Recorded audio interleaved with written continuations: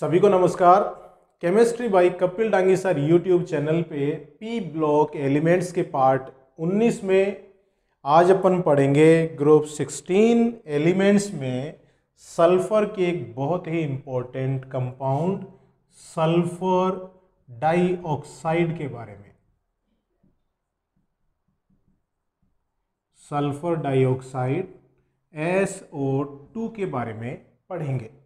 सबसे पहले देखते हैं अपन इसका निर्माण मतलब सिंथेसिस की बात कर रहे हैं। निर्माण में देखिएगा, कई विधियाँ हैं निर्माण की। सबसे पहली विधि में अपन देखें कि अगर गंधक को या सल्फ़र को वायु के साथ मतलब ऑक्सीजन के साथ गर्म करते हैं तो सल्फ़र डाइऑक्साइड गैस का निर्माण होता है। गंधक को ऑक्सीजन की उपस्थिति में गर्म करेंगे तो SO2 गैस बनेगी। दूसरा, प्रयोगशाला में SO2 गैस कैसे बनाते हैं? तो प्रयोगशाला विधि देखिए, कोई सल्फाइट लवण है, उसकी क्रिया अगर सांद्र H2SO4 के साथ करवाई जाए तो SO2 गैस निकलती है। जैसे उदाहरण लें Na2SO3 मतलब ये क्या हो गया? सोडियम सल्फाइट हो गया। इसकी क्रिया किससे करवा रहे हैं? H2SO4 सल्फ्यूरिक एसिड, वो भी कैसा है? सांद्र है। तो इससे एस ओ टू गैस बनेगी। कैसे बनेगी देखिएगा। Na2SO4 plus SO2 plus H2O ये अभिक्रिया होती है। तो देखिए यहाँ पे Na2SO4 यहाँ पे आ गया टू और ये 2H2O निकल गया। सोडियम सल्फाइट है वो किसमें बदल गया? सोडियम सल्फेट में।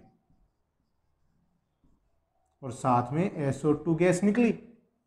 तो ये है प्रयोगशाला विधि कि सल्फाइट लवण की क्रिया सांद्र H2SO4 से कराने पर सल्फ़र डाइऑक्साइड गैस बनती है। ठीक है, तीसरी विधि देखिएगा। अगर कॉपर छिलन मतलब कॉपर धातु की बात कर रहे हैं अपन, कॉपर छिलन की बात कर रहे हैं, उसकी क्रिया अगर सांद्र H2SO4 से कराएँ, सांद्र H2SO4 से कराएँ, कॉपर धातु की क्रिया अगर सांद्र H2SO4 से कराते हैं तो देखिए क्या बनेगा? C U SO four copper sulphate plus S O two plus S two O बनता है। तो यहाँ इसको अगर अपन संतुलित करें तो ये हो जाएगा टू। यहाँ पे मैं सांद्र लिख देता हूँ। और एस टू ओ कितने निकल गए? टू। तो कॉपर छिलन की क्रिया अगर सांद्र H2SO4 से कराते हैं तो कॉपर सल्फेट के साथ में क्या निकलेगा? सह उत्पाद के रूप में सल्फ़र डाइऑक्साइड गैस का निष्कासन होता है। तो इस तरह से भी आप सल्फ़र डाइऑक्साइड गैस बना सकते हैं।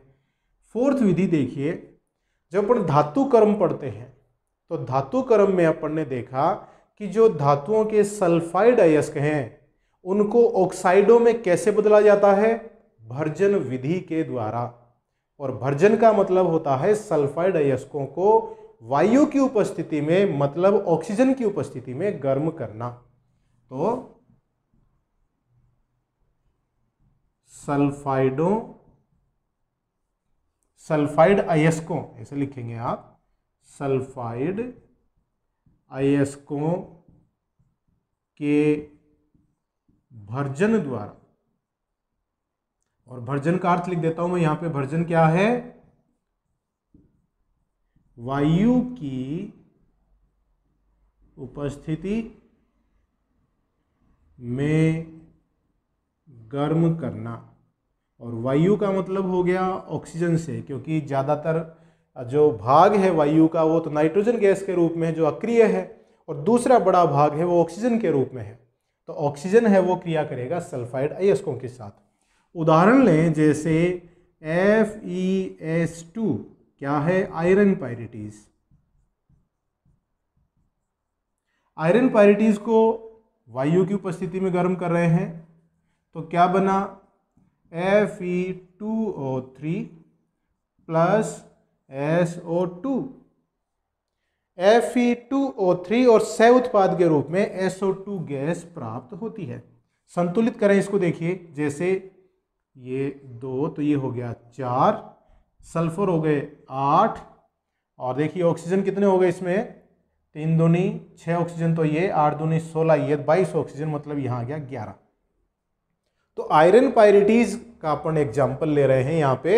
आयरन पायरिटीज जो कि लोहे का सल्फाइड अयस्क है, उसको वायु की उपस्थिति में गर्म करेंगे तो सल्फ़र डाइऑक्साइड गैस प्राप्त होती है सह उत्पाद के रूप में। तो इस तरह से ये कुछ विधियाँ हैं, इन विधियों के द्वारा सल्फ़र डाइऑक्साइड गैस का निर्माण कर सकते हैं। अब देखिए, निर्माण कर लिया अपन ने।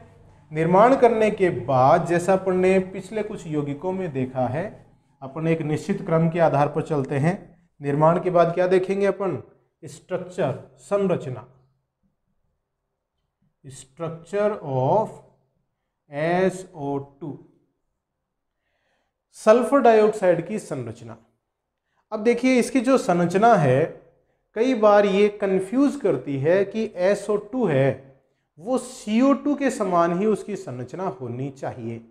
लेकिन ऐसा नहीं होता है। चलो इसकी तुलना कर लेते हैं CO2 के साथ में।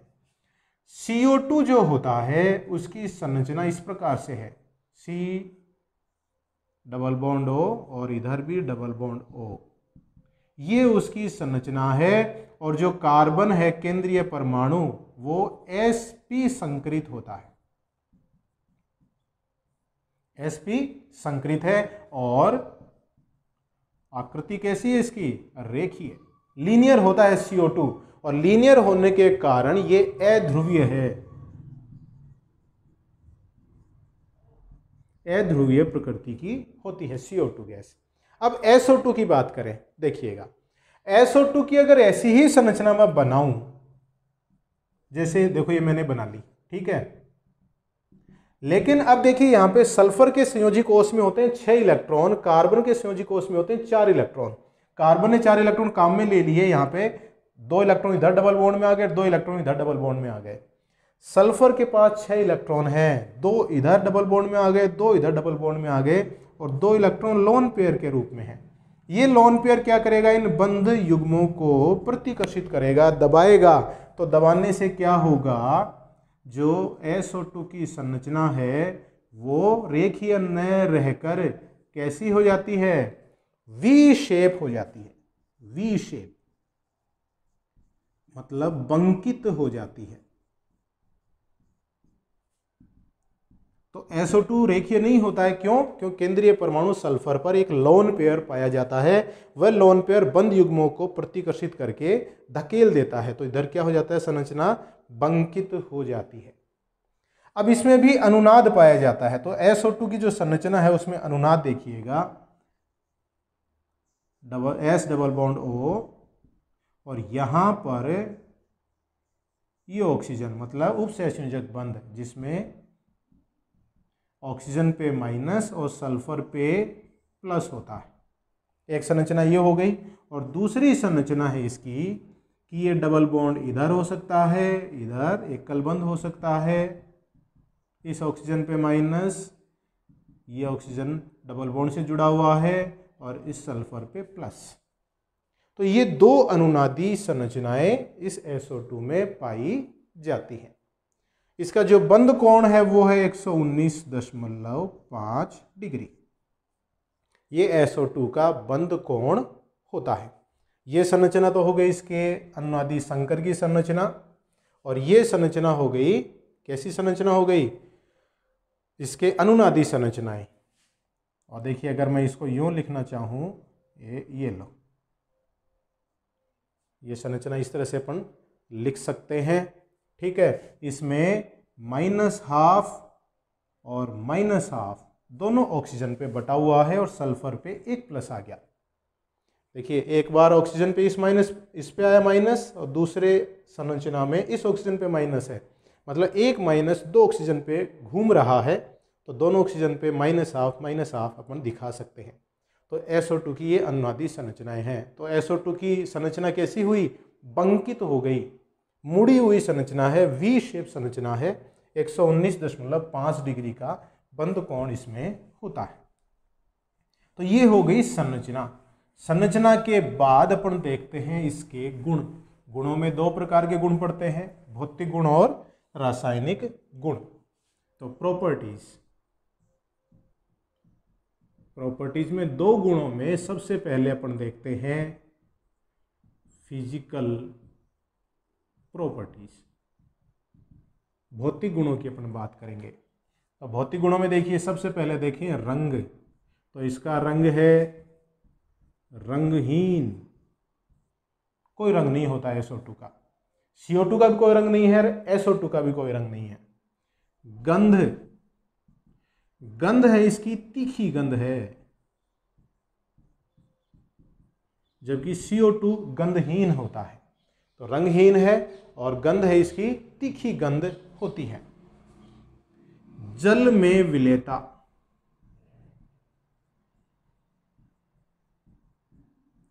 तो ये जल में विलय होता है, अत्यधिक विलय होता है। विलय क्यों होता है? क्योंकि जल के साथ इसका जो विलयन है, वो अम्लीय प्रकृति का हो जाता है। जैसे देखिए एस ओ टू है, उसको जब जल में प्रवाहित करेंगे तो बनेगा S two S O three sulphurous acid बनता है। सल्फ्यूरस एसिड मतलब ये अम्ल है। तो अपन कहेंगे कि SO2 का जलीय विलयन अम्लीय प्रकृति का होता है। ठीक है? अब ये जो जल में विलेता वाला गुण है, ये CO2 के समान ही है।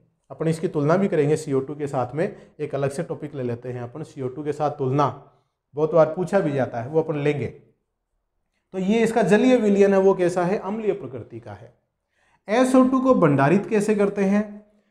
बहुत उच्च दाब पर, और दाब भी लगभग उच्च मतलब दो वायुमंडलीय दाब पर। दो वायुमंडलीय दाब पर, निम्न ताप पर। इसे द्रवित करके स्टील के सिलेंडर में भंडारित करते हैं।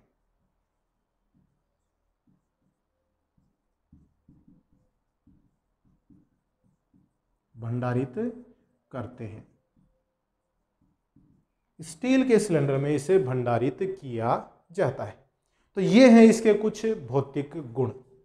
अब देखिए, रासायनिक गुणों में अपन इसके कुछ अभिक्रियाएँ पढ़ेंगे और साथ में इसकी तुलना करते हैं CO2 गैस के साथ, क्योंकि इसके कुछ गुण हैं, वो CO2 से मिलते जुलते हैं। तो देखिए, दूसरे गुण हो गया इसमें chemical properties chemical properties chemical properties में देखिएगा, सबसे पहले मैं ले रहा हूँ SO2 की CO2 से तुलना। तुलना करवाते हैं अपन, ठीक है? SO2 भी गैस है और CO2 भी गैस है। कुछ तुलना अपन कर रहे हैं, देखिए। CO2 कैसा है? रेखीय है। अध्रुवीय है। और SO2 कैसा है? बंकित है और ध्रुवीय प्रकृति का है। तो ये तो हो गया अंतर, ठीक है, और भी अंतर आएगा, ये संरचना का अंतर आ गया। दूसरी तुलना देखिए CO2 को H2O में प्रवाहित करें तो उसका विलयन बनता है H2CO3 कार्बोनिक एसिड। मतलब अम्लीय प्रकृति का जलीय विलयन होता है CO2 का। वैसे ही SO2 है, उसको जल में प्रवाहित करेंगे तो बनेगा H2SO3 सल्फ्यूरस एसिड। तो दोनों में समानता हो गई कि नहीं? अपन तुलना कर रहे हैं, तुलना में अंतर भी आते हैं और समानताएँ भी आती हैं। तो CO2 का जलीय विलयन भी अम्लीय प्रकृति का है और SO2 का जलीय विलयन भी अम्लीय प्रकृति का होता है। नेक्स्ट देखिए CO2 और SO2 दोनों अम्लीय प्रकृति की हैं। CO2 व SO2 अम्लीय प्रकृति दर्शाते हैं।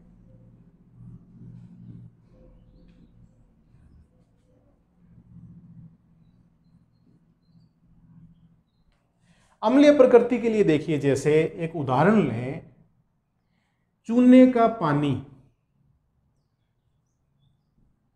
चूने का पानी ले लेते हैं।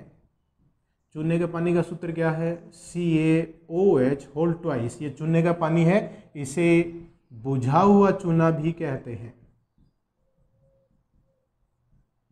इसमें जब आप सी ओ टू गैस प्रवाहित करेंगे तो क्या बनेगा? C A C O three plus S two O calcium carbonate बनेगा और एस टू ओ इसमें से निकलेगा। Calcium carbonate. और इसका रंग कैसा होता है? दूधिया। ठीक है? वैसे ही अगर आप चूने के पानी में SO2 गैस प्रवाहित करेंगे तो बनेगा C A S O three plus S two O calcium sulphide बनेगा। कैल्शियम सल्फाइट और इसका रंग भी कैसा है? दूधिया। तो देखिए, आपने केमिस्ट्री के प्रयोग में बहुत बार ये देखा होगा कि निकलने वाली गैस को अगर चुनने के पानी में प्रवाहित कर देते हैं और उसका रंग दूधिया हो जाता है तो वो गैस या तो CO2 है या SO2 है। तो कार्बन डाइऑक्साइड और सल्फ़र डाइऑक्साइड दोनों गैसें चूने के पानी में से प्रवाहित करने पर उसका रंग दूधिया कर देती हैं। तो दोनों में ये समानता हो गई। लेकिन अगर इन दोनों में से ये पता करना हो कि CO2 और SO2 में से गैस निकलने वाली गैस कौन सी है तो इस दूधिया तो दोनों में ही आ रहा है दूधिया रंग तो पता कैसे चलेगा? तो अगर और अधिक समय तक प्रवाहित करें इस विलियन में, जैसे ये दूधिया रंग हो गया और इसमें C A C O three और एस टू जो बना है, इसमें अगर सी ओ टू को और अधिक समय तक प्रवाहित करें तो बनेगा C A H C O three calcium bicarbonate का निर्माण होता है। C A H C O three का whole twice, calcium bicarbonate और कैल्शियम बाइकार्बोनेट रंगहीन होता है। जबकि अगर आप कैल्शियम सल्फाइड के जलीय विलियन में SO2 को अधिक समय तक प्रवाहित करेंगे। तो C H S O three calcium bisulphide नहीं बनेगा। तो इसका मतलब देखिए यहाँ पर अपन जैसे पता करना चाहें कि किसी भी प्रयोग में निकलने वाली गैस CO2 है या SO2 है तो क्या करेंगे? चूने का पानी लेंगे। उस चूने के पानी में निकलने वाली गैस को प्रवाहित करेंगे। तो प्रवाहित करने पर अगर चूने के पानी का रंग दूधिया हो गया तो निकलने वाली गैस या तो CO2 है या SO2 है, ठीक है? अब इनमें से कौन सी है वो पता कैसे करेंगे? तो उस दूध या रंग वाले पानी में, चूने के पानी में निकलने वाली गैस को और अधिक समय तक प्रवाहित करते जाएँ। तो अगर उसका रंग उड़ जाता है, वो रंगहीन हो जाता है तो निकलने वाली गैस है CO2 और अगर रंग नहीं उड़ा तो इसका मतलब निकलने वाली गैस कौन सी है? SO2 होती है।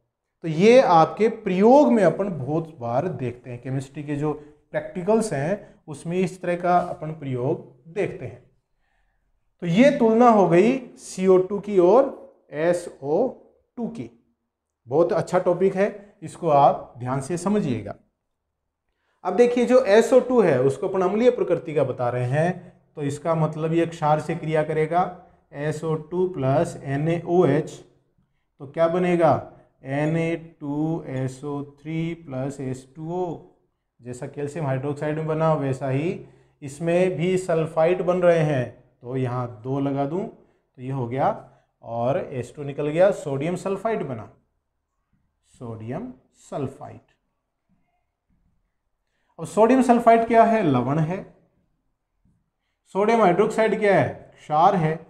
तो क्षार के साथ वे योगी क्रिया करके जो लवण देते हैं और जल देते हैं, वो क्या हो गए? अम्ल हो गए। तो SO2 की प्रकृति कैसी है? अम्लीय प्रकृति है। तो क्षार के साथ ही आसानी से क्रिया कर सकती है। नेक्स्ट गुण देखिएगा इसका।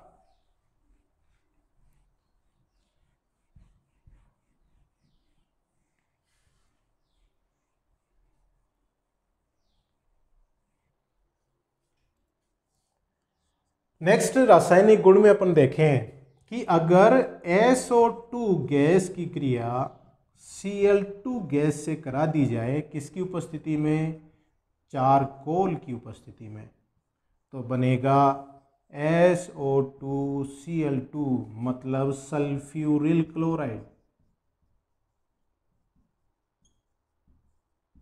सल्फ्यूरिल क्लोराइड का निर्माण होता है SO2 की क्रिया Cl2 से करा देने पर।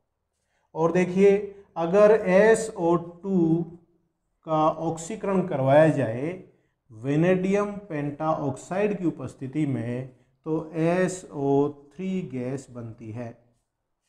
दो और दो। और इस एस ओ थ्री से आगे अपन सल्फ्यूरिक एसिड बना सकते हैं। तो ये विधि कैसी विधि है? ये विधि है संस्पर्श विधि।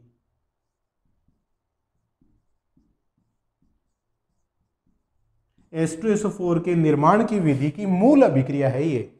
संस्पर्श विधि किसके लिए होती है? S two S O four के निर्माण की विधि है।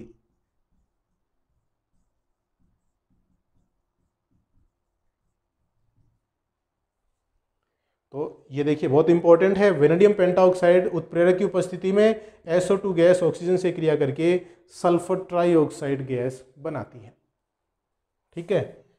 नेक्स्ट देखिए SO2 का अपचायक गुण।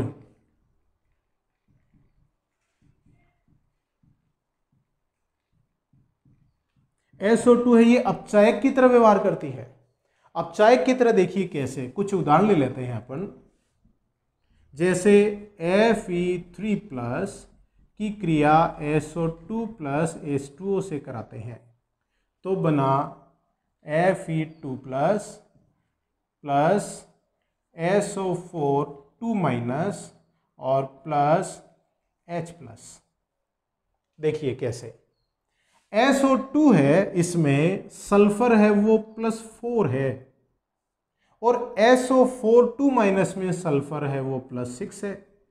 यहाँ एफ़ ई थ्री प्लस है और बन गया इसमें एफ़ ई टू प्लस तो एफ़ ई थ्री प्लस से एफ़ ई टू प्लस हुआ तो इसका क्या हो गया? अपचयन हो गया। और SO टू में प्लस फोर से प्लस सिक्स हो गया तो ये क्या हो गया? ऑक्सीकरण हो गया।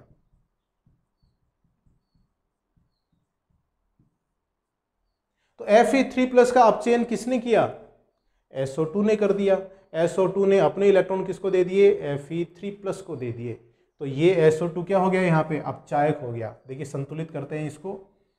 आ, ये टू टू एंड फोर संतुलित हुआ कि नहीं? देखिए कैसे। एफ़ ई एक है, दो है, यहाँ भी एफ़ ई दो है सल्फ़र एक है सल्फ़र एक है। ऑक्सीजन दो और दो, चार चार ऑक्सीजन हो गए हाइड्रोजन भी चार हो गए। आवेश संतुलित करें, इधर छः प्लस है और इधर देखिए, चार प्लस ये, चार प्लस ये, आठ प्लस में से दो माइनस गया तो छः प्लस इधर, संतुलित हो गया। तो ये एसओ टू यहाँ पर किसकी तरह कार्य कर रहा है? अपचायक की तरह कार्य कर रहा है। और देखिए जैसे M N O four minus plus SO two plus S two O इसमें क्या बनेगा? M N two plus plus S O four two minus plus S two ये अभिक्रिया है। देखिए M N O four minus में मैंगनीज है plus seven S O two में सल्फ़र है प्लस फोर तो प्लस सेवन से मैंगनीज किसमें बदल गया? प्लस टू में बदल गया। तो क्या हो गया इसका?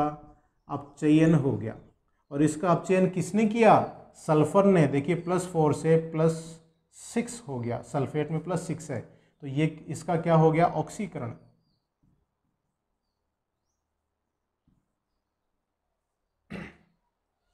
ये ऑक्सीकरण हो गया। ठीक है? जो अपचायक होता है, उसका ऑक्सीकरण होता है। क्योंकि वो सेम इलेक्ट्रॉन दूसरे को दे देता है। ठीक है तो ये ऑक्सीकरण हो गया। अब देखिए यहाँ एस टू नहीं है सॉरी एच प्लस है एच प्लस है, ध्यान दीजिएगा एच प्लस है। ठीक है, अब इसको देखिए, संतुलित करने की अपन कोशिश करते हैं। देखिए, दो, चार। दो दो और यहाँ ऑक्सीजन को संतुलित करें तो यहाँ पे ये पाँच और ये पाँच। तो इस अभिक्रिया के द्वारा अपन बता सकते हैं कि जो SO2 है, वो अपचायक की तरह व्यवहार करता है। ठीक है तो ये हो गए SO2 के रासायनिक गुण। अब अपन देखते हैं SO2 के उपयोग। तो उपयोग देखिए क्या क्या है। यूजेस यूजेज में सबसे पहला उपयोग प्रयोगशाला अभिक्रमक के रूप में। यह प्रयोगशाला अभिक्रमक के रूप में काम में आता है। दूसरा, सल्फ्यूरिक एसिड के निर्माण में जो अभी अपने विधि देखी थी संस्पर्श विधि, एक विधि और होती है, सीसा कक्ष विधि। उससे भी सल्फ्यूरिक एसिड बनाते हैं अपने SO2 के द्वारा ही। तीसरा देखिए, विरंजक के रूप में। विरंजक के रूप में इसका उपयोग किया जाता है। विभिन्न ऊन वगैरह हैं, कपड़े वगैरह हैं, उनका विरंजन इसके द्वारा अपन करते हैं। और देखिए, इसमें पुतिरोधी विसंक्रामी के रूप में, पुतिरोधी नहीं, विसंक्रामी के रूप में इसका उपयोग किया जाता है। डिसइंफेक्टेंट के रूप में अपन काम में लेते हैं। जैसे पोछा वगैरह लगाते हैं ना, वो डिसइंफेक्टेंट होता है, विसंक्रामी होता है तो उसके रूप में भी SO2 का उपयोग अपन कर सकते हैं। प्रशितक के रूप में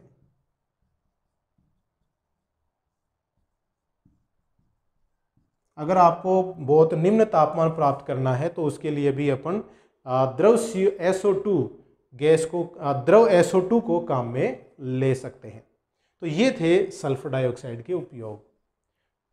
नेक्स्ट वीडियो में अपन सल्फ़र के एक और इंपॉर्टेंट यौगिक के साथ मिलेंगे। तब तक के लिए हाथ धोते रहिए, स्वस्थ रहिए, परिवारजनों का ध्यान रखिए, मेरे वीडियोस देखते रहिए।